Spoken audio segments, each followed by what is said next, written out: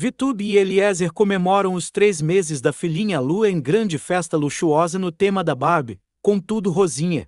Teve várias guloseimas, lembrancinhas e muita animação. Além Fique da agora presença de e familiares. se inscreva no canal para mais notícias dos famosos. Olha esse corredor, gente. Barbie. Que lindo.